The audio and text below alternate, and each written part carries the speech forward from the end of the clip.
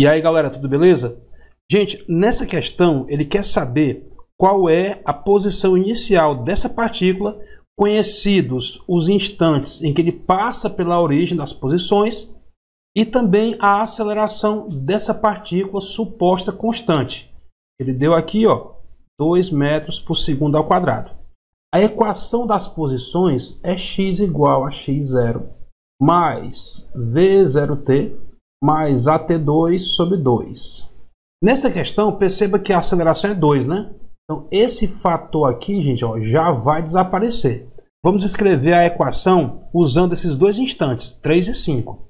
Então, quando t for 3, vamos ter posição 0, posição inicial x0, mais 3v0, mais 3 ao quadrado, 9. Beleza? No instante 5 segundos, a posição também vai ser zero. Posição inicial mais 5 vezes a velocidade inicial mais 25, né? T ao quadrado. Beleza? Vamos fazer o seguinte. Vou pegar nessa primeira equação e vou isolar esse V0. Vou dizer aqui ó, que o V0 é igual a menos 9 menos x0 dividido por 3. Para que isso aí, professor? Porque eu vou jogar esse valor aqui ó, na segunda equação, já que nós queremos descobrir o x0, né?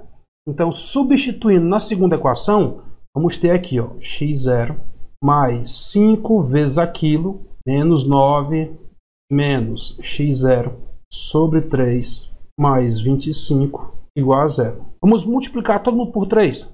3x0 Aqui eu posso começar a desenvolver. Ó. 5 vezes menos 9 dá menos 45, menos 5x0 mais 75, né? Multipliquei tudo por 3, igual a zero. 3x0 menos 5x0 menos 2x0. Menos 45 mais 75 dá 30, passando para o segundo membro, menos 30.